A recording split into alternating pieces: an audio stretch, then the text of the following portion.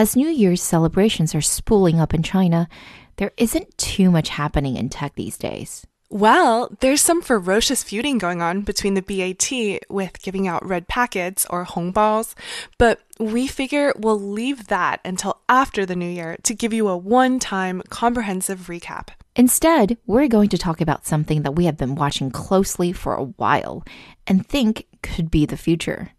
Or one man's vision of it, anyway. We also think it's still underappreciated in the West and stands out as one area where China is really forging ahead into unknown and exciting territory. What is it, you ask? Well, it's the WeChat mini program, one of the most important and innovative functions of WeChat, which had an update this past week. Ever since it was rolled out two years ago, it's been touted as a key direction for WeChat.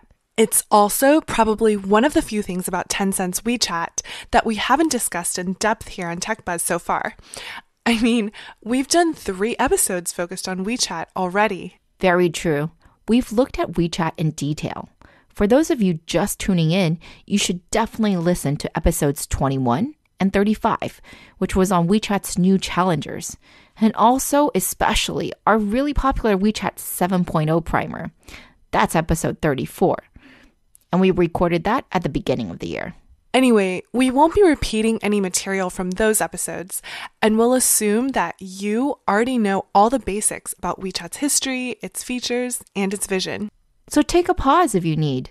But if you're ready, let's go ahead and dive deep into the world of WeChat mini programs.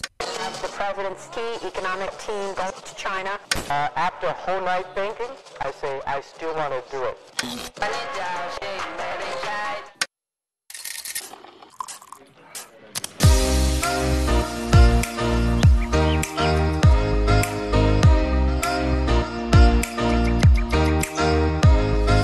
Hi everyone, we are Tech Buzz China by Pandaily, powered by the Sinica Podcast Network. We are a weekly podcast focused on giving you a peek into what's buzzing within the tech community in China. We uncover and contextualize unique insights, perspectives, and takeaways on headline tech news that don't always make it into English language coverage so that you can be smarter about the world of China tech. TechBuzz China is a part of pandaily.com, an English language site that tells you everything about China's innovation. I'm one of your two co-hosts, Rui Ma. And I'm your other co host, Ying Ying Lu. We'd like to acknowledge our partners, Deal Street Asia and Sup China, creator of the Sinica Podcast Network. In addition to TechBuzz, you can also find Sinica, which covers current affairs, NüVoices on women, the business oriented China Econ Talk, and the Caixin Sinica Business Brief from China's leading business magazine. Check these out, guys. Thanks to Tech Buzzers Rock Zhang, Dave McClure, Jim Wang, Erica Chung, and Ofer Dor for your feedback and support. One last thing before we get started. If you enjoy listening to us, please take the time to leave us a rating or review on iTunes, Facebook, or wherever you get your podcast.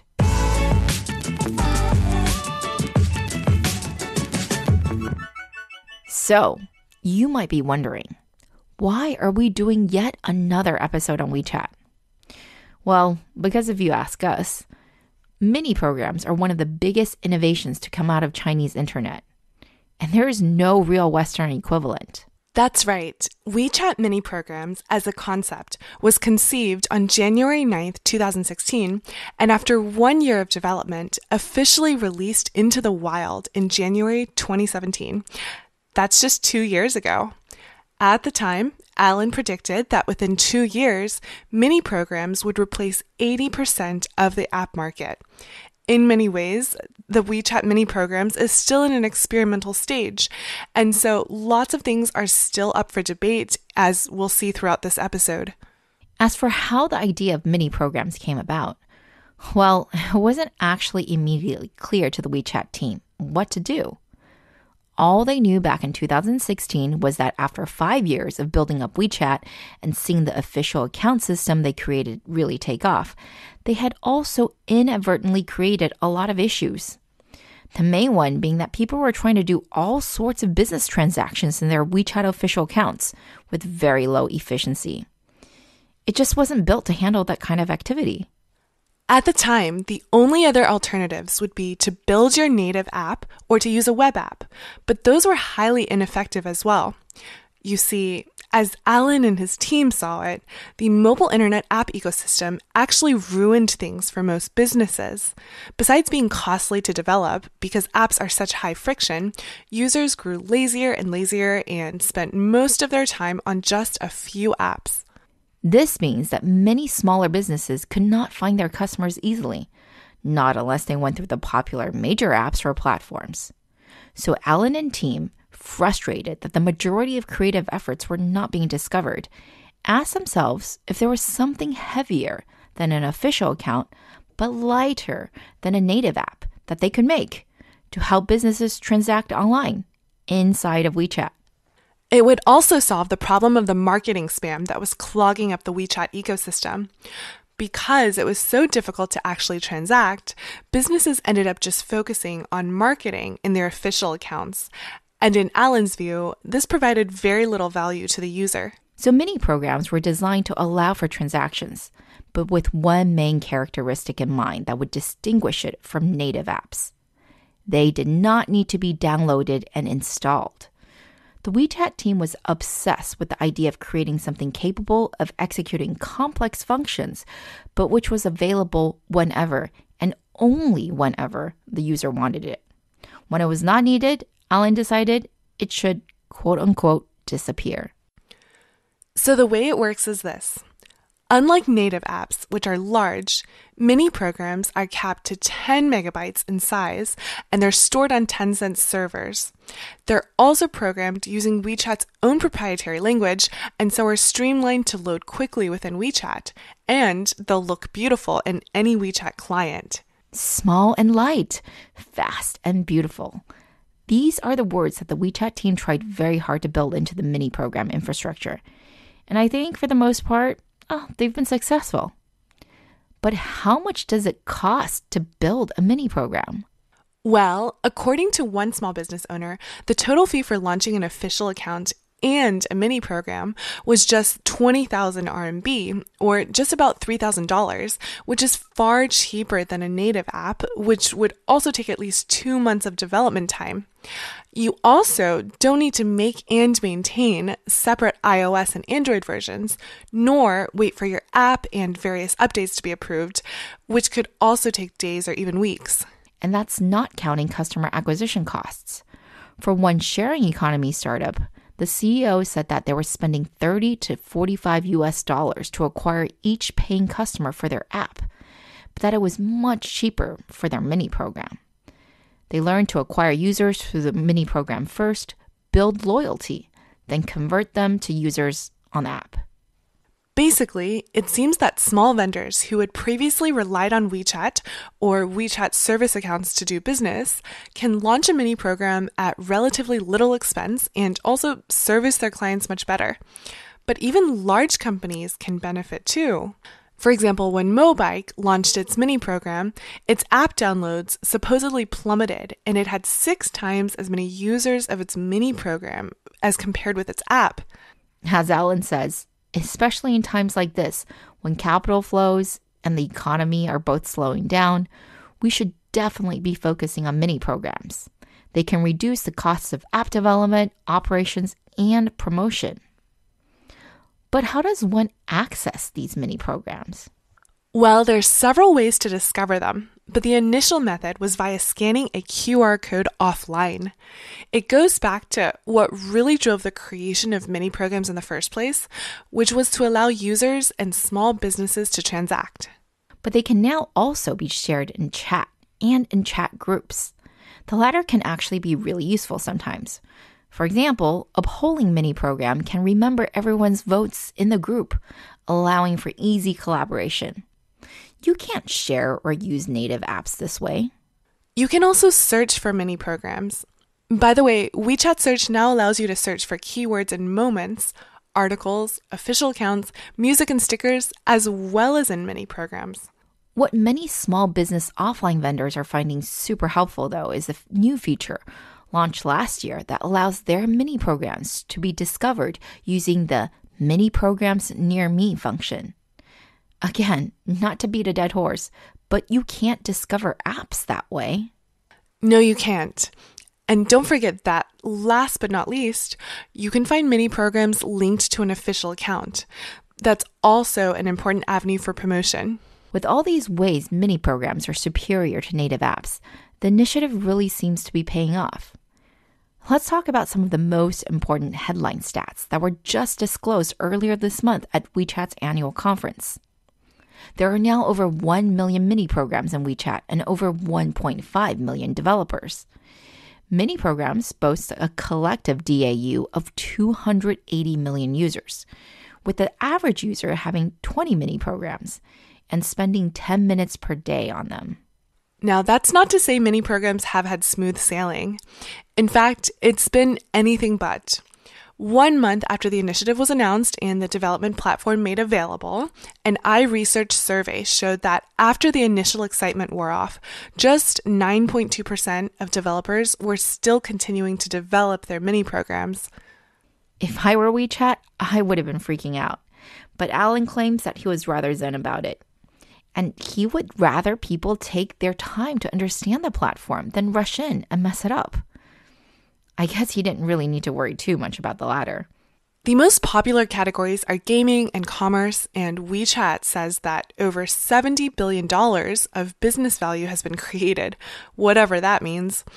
And although 10 minutes per day doesn't sound like a lot, the point is that the mini programs were developed for efficiency and not session length. So, a more relevant statistic might be that over two thirds of mini program users are logging in at least four times a day. And all this was before the latest update, which allowed for even easier discovery of mini programs. You see, WeChat created a sort of second home screen for your mini programs that you can access just by swiping down in the app. And you can pin and move around mini apps just like you might want to on your smartphone home screen. This led to all sorts of headlines proclaiming that operating systems such as iOS were going to have serious ramifications because, you know, this was infringing upon iOS territory. While it's been noted that Apple technically does forbid apps to quote unquote simulate multi app widget experiences, with WeChat at 1 billion DAU, this is probably not non negotiable. Personally, I think these concerns are overblown, at least in the short term. And these concerns aren't new, much as people would like to make them out to be. WeChat's mini programs were viewed with suspicion from the beginning. On the Android, you can bookmark the mini program directly onto your mobile desktop, which almost makes it feel like a native app. As for Apple, you'll sometimes hear people refer to mini programs as mini apps, but the official name is Mini Program because guess what? WeChat and Apple had a dispute over calling them apps. So they are frenemies, like everyone else in tech. Why am I not surprised? But that doesn't mean a war is about to break out. Yep, if anything, I hope we are clear in explaining that mini programs are just that mini and light, and pose very little threat, if any, to the premium experiences that the highest grossing iOS apps provide. What I think is happening is that China, which at one point accounted for something like 40% of global iOS revenues, that's about three years ago, is now a huge sore point for Apple after this really last disappointing quarter. And so people are quick to blame everything on WeChat. Because it is, after all, the dominant Chinese app. But even Apple itself has noted that one main reason for its flagging Chinese revenue was the Chinese government's unforeseen censorship of video games for much of 2018. That category, mobile games with significant in app purchase opportunities, is the type of app that's not suited to be a mini program. So, suffice to say, we think this headline is overly sensational.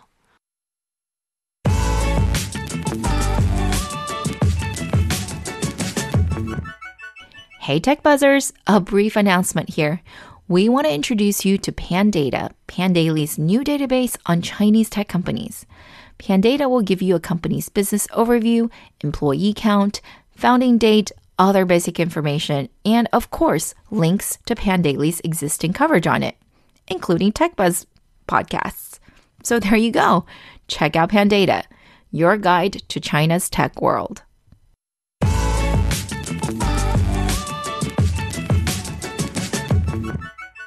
So, welcome back. While we have given you already some of the pros of mini programs, there are definitely some cons. No product is or can be perfect. So, in its current iteration, mini programs are still a bit unstable and being formulated specifically to function within the WeChat ecosystem only, it's still relatively closed off. It uses a proprietary programming language. It's also not yet fully extensible, meaning that integrations can be troublesome to implement, if they're even possible. And just more generally, obviously mini programs only work within WeChat and require separate development versus a web app that will work in any browser. But perhaps what's most frustrating for operators is running up against Allen's product ethos that the user's free will is to be carefully protected at all costs, and anything that does not improve her productivity should be eliminated or at least minimized. For mini programs, this means that there are strict rules on incentivized sharing. There are no push notifications, and you can only share via chat, not to your Moments feed. And of course, Tencent decides whether or not your app violates their rules, which means there is a formal submission and approval process, which lasts a few days. And there is a measurable difference still in native app and mini program users. For JD, we can see that a higher percentage of their rural users use their mini program versus their native app. The reason is unclear, but it could be that mini apps are just easier to use and require less resources on one's phone, both in terms of bandwidth and processing power. That's what I would guess, and it looks like it's the same for fellow e-commerce players, Pinduoduo, VIP Shop, and Meituan. So I think there are four pretty frequently asked questions about mini programs that we can answer here in our deep dive. The first one, which often comes up, is what is the difference between mini programs and mini games? Mini games are actually just mini programs that are games. WeChat does categorize them differently within the app, however, by having two separate menu items in the Discover section of your account. But for example, searching for mini programs will also give you results for games. Games, or maybe we should refer to them as mini games, were launched one year after mini programs. Some of you might remember in December 2017 when WeChat promoted the first mini program game, the extremely viral 跳一跳 or Jump Jump. At its peak, Tiao had 100 million DAU. You'll notice that because of WeChat's built-in social graph, leaderboards featuring your friends really helped you stay engaged with the game. Tencent's minigame MAU, by the way, is on par with mobile games, but with a higher percentage of female players. Minigames are also enjoying far higher retention and ARPUs, that's average revenue per user, than mini programs. The second question is what's next for mini programs? Did Allen talk about that in his four hour speech earlier this month on WeChat product development? Actually, he did, or at least gave enough hints. There are several things on the roadmap. For one, going forward, mini programs will need to have in program search. That means the data generated inside of the mini programs will need to be searchable. Say, if I use a mini program to book a train ticket, I should be able to pull up my itinerary through regular WeChat search and not have to open up the mini program first. It will also be easier to search for mini programs in general. In fact, the label of the search function will change from find name of mini program to find service. There will probably also need to be some kind of review system for mini programs because as a user, you're currently blind as to which programs are going to provide you with the best experience. I'm sure a solution to this is in the works. And already officially announced are additional functionalities. These include voice, more storage, and data assistance, plus a list of most popular mini programs. Finally, there probably needs to be some new innovative way to engage with users. With no push notifications, it's difficult for mini programs to retain users. Currently, your most recently used mini programs sit at the very top of your WeChat messages screen and can be accessed now at least after this latest update, by just pulling the screen down. You can also now pin your favorite programs, but this will still be far less effective than the traditional method of pushing notifications. Allen will never allow that though, since his whole view is that users should have more control over where they direct their attention and that software should respond and react to a user's needs instead of leading them. Which leads us into our next question What is the role of AI in all of this? Well, that answer will vary depending on what you mean by AI. If you mean AI as in a recommendation engine, like the core driver of ByteDance's business, then no. Last year, Allen explicitly said that he does not want WeChat to recommend mini programs to users. He wants them to define their own needs and to discover the services they need for themselves. Pull versus push. Exactly. Allen thinks that in the beginning of the internet, usage times were more evenly distributed across multiple properties. But quickly, as we know, a few services began to take up the majority of people's time. And Allen does not want to repeat that within WeChat. Although, isn't that rather hypocritical? Because WeChat is precisely one of those services where people are spending lots and lots of their time. Yes, but it's also clear that he doesn't want to just keep people inside of WeChat and using WeChat services. He wants WeChat to be not an app, but a tool where it is just the portal to a much bigger world that's mostly built by other people, i.e., mini programs. I'm not the biggest Allen fangirl, but I have really come to appreciate more and more his vision of productivity as WeChat's highest calling. Again, Mini programs, by design, are for doing exactly that, making you more productive. And because they're so lightweight, they really do allow for you to get a task done quickly and then leave. The original impetus and motivation behind mini programs, according to Allen, is again, just like with official accounts and the newly revamped content discovery system, to elevate creators. A story that Allen likes to tell regarding the success of mini programs is one of blind masseuses, a group of whom got together and made a mini program for their services so that they could book clients via WeChat. That is the kind of work that Allen and team want to support. Individuals or small groups who do not have the resources to make full blown apps or maintain and market them, but would benefit greatly from being able to do business within WeChat. While WeChat could have made a lot of these functions themselves, they chose not to do so and to pursue a decentralized system instead. Of course, WeChat has plenty of its own mini programs, such as the one for mini games, Weixin Youxi Quan or WeChat Livestream, but that's not the point.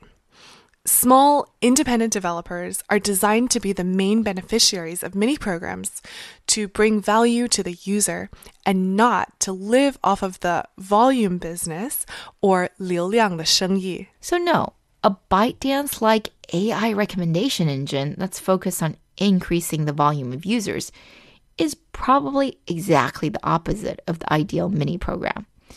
The ideal mini program is supposed to solve a specific problem for the user as quickly as possible and then retreat silently into the background.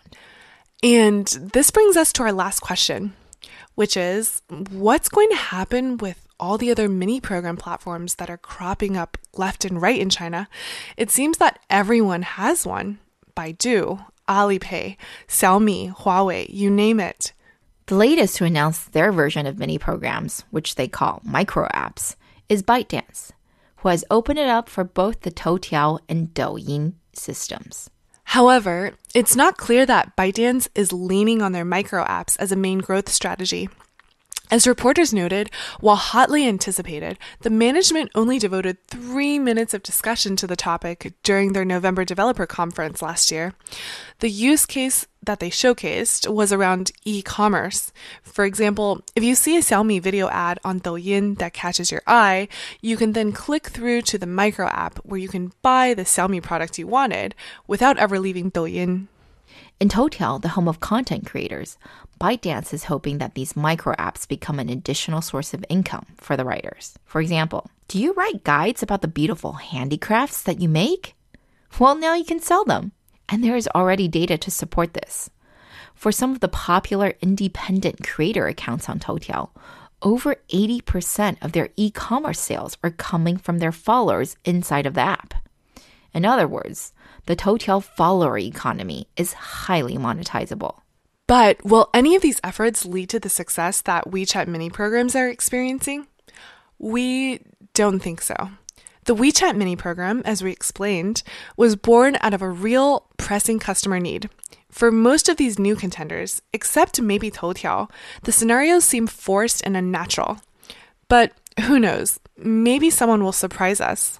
And it's that time again to summarize our findings for you guys.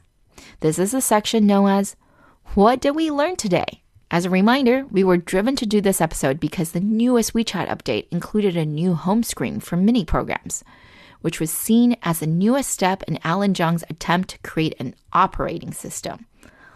And that's a threat to players like Apple. We thought this threat was over sensationalized because mini programs, at least as they are, are not going to kill the major apps. But it's true that they might significantly reduce the need for smaller ones, particularly those that don't need to be used very frequently. That's, after all, what they're designed for to help the small business owner who doesn't have the resources to build and maintain a native app. Although plenty of big companies quickly piled on, as we can see, it's worked really well for the team. If Allen's vision comes true, mini programs are going to be the future because apps are bulky and they're always needing to download updates and they're inefficient. And the browser experience on mobile, too, it's still less than ideal. Mini programs, on the other hand, are in the middle not too heavy, not too light, and just right. While mini programs still have a long way to go, such as having better discoverability, reviews, and in program search functionality, they are already very popular and they seem to work especially well as games. Not the original intention, but that's been the result. Finally, as we see more and more companies try to create their own version of mini programs, we here at TechBuzz are pretty bearish on their prospects. Although maybe ByteDance does have a small chance.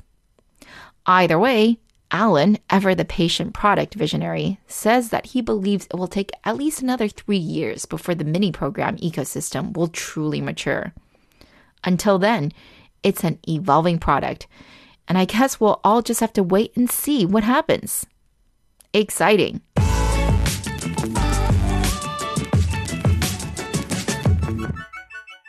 Okay, that's all for this week, folks. Thanks for listening. As a reminder, our episodes will now be available every Friday instead of on Wednesdays. We really enjoyed putting this together, and as always, we're open to any comments or suggestions. You can find us on Twitter at the Pandaily, at TechBuzzChina, and my personal Twitter account is spelled G I N Y G I N Y. And my Twitter is spelled R U I M A.